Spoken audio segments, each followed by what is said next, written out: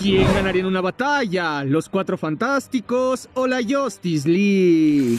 Los dos grupos heroicos más icónicos de los cómics, que hasta hace unos años eran las alineaciones de héroes más populares. En ambos bandos hay seres realmente poderosos, por lo que a pesar de la clara desventaja numérica de los Cuatro Fantásticos, ambas agrupaciones darían una increíble batalla, con o sin preparación, ya que hay dos pesos pesados en cuanto a inteligencia de cada lado.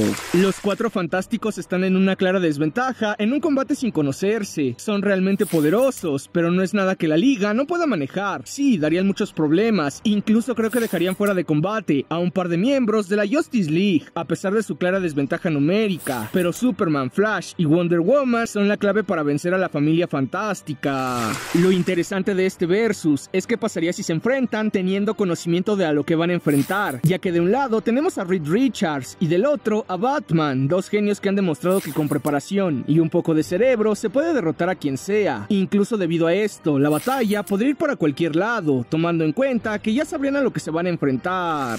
Por lo que yo veo esto de la siguiente manera, sin preparación, la Liga de la Justicia se lleva esto con cierta facilidad. Ahora que si es con preparación lo veo más cerrado, pero me inclino por los Cuatro Fantásticos, por el hecho de que tienen a Mr. Fantástico, que sí, es más inteligente que Batman, sus hazañas en inteligencia lo respaldan, además su conocimiento es más vasto, por lo que podría crear algún arma capaz de derrotar a toda la liga. ¿Qué opinas? Bye.